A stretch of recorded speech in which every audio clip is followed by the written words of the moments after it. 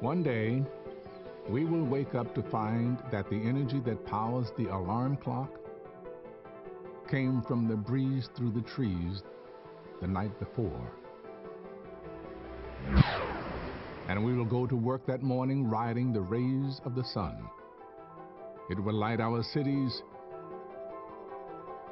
and power our businesses. It will warm our homes and cool our workplaces.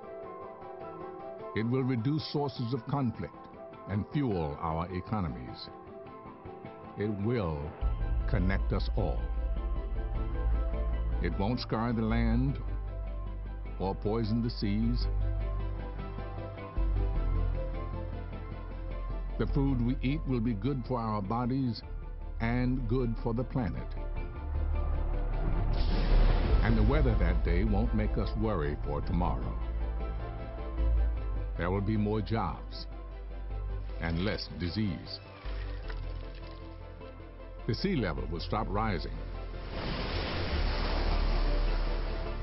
And species will stop dying. The question is, how do we get to that day from where we are today?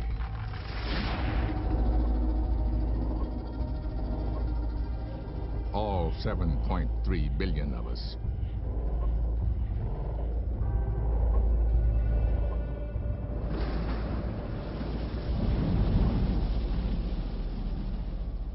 We start by deciding that beyond our doubts and differences, such a day truly exists. And that is something each of us can do today.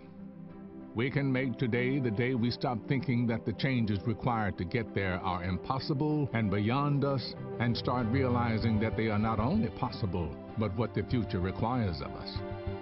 We must stop turning from the warnings of science and fear and denial and instead turn toward the solutions and partnerships we need.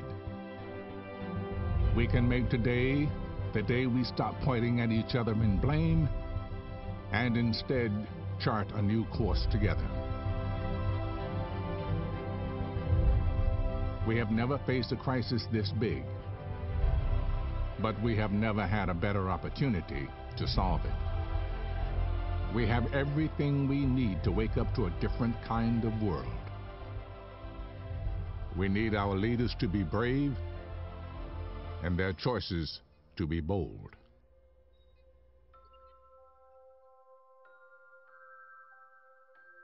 They will either remember us as the generation that destroyed its home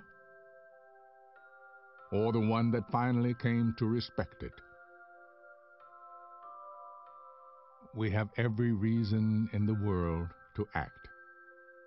We can't wait until tomorrow.